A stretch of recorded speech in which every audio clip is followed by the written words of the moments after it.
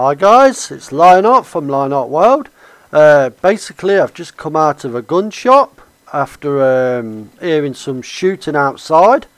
Uh, so I've walked outside a bit careful in case there's a load of people shooting up the town but everything had calmed down so as you can see on the map there's a load of uh, dead people with the little X's everywhere. Uh, and as I went to loot this particular guy from just round this wagon here he started walking up and down the street. Now as you can see I'm following him along and you can see the little X where he's uh, dead and uh, I'm not too sure but I think we might have just come across our first walking dead person on um, Red Dead Redemption 2.